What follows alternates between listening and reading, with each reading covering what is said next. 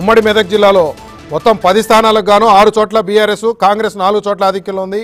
ఉమ్మడి హైదరాబాదు ఉమ్మడి రంగారెడ్డి తర్వాత ఉమ్మడి మెదక్ జిల్లాలో బీఆర్ఎస్ మెజారిటీలో ఉంది. అదొకటి మనం క్లియర్ కట్గా చూసే పరిస్థితి. మిగతా అన్ని జిల్లాల్లో కూడా కాంగ్రెసే ఆధిక్యంలో కొనసాగుతూ ఉంది. నిజామాబాదు ఇవన్నీ కూడా ఆదిలాబాద్లో బీజేపీ ఆధిక్యంలో కొనసాగుతోంది బీజేపీయే కాంగ్రెస్ రెండు కూడా స్ప్లిట్ చేసుకుంటూ ఉన్నాయి. బీఆర్ఎస్ కేవలం రెండు స్థానాల్లో అక్కడ ఆధిక్యంలో ఉన్న పరిస్థితి. నిజామాబాదు కరీంనగర్ ఇవన్నీ కూడా కాంగ్రెస్ పూర్తి ఆధిక్యాన్ని ప్రదర్శిస్తూ ఉంది. కరీంనగర్లో గంగుల కమలాకర్ రెండు వేల రెండు వందల తొంభై ఒక్క ఓట్ల ఆధిక్యము కొంచెం స్వల్ప ఆధిక్యమే.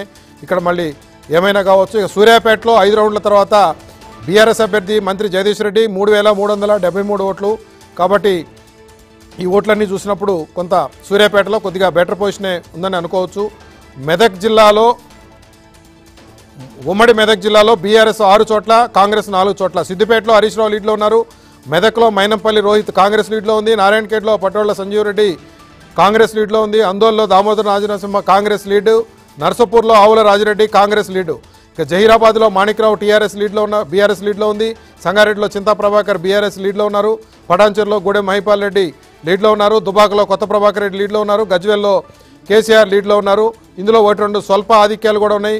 కాబట్టి ఎలా ఉంటుందనేది చూద్దాం. అట్లనే మనం ఇప్పటివరకు ఒకసారి చూస్తే నేషనల్ వైడ్ నేషనల్ రీసర్చ్ ఎందుకంటే తెలంగాణలో తెలంగాణ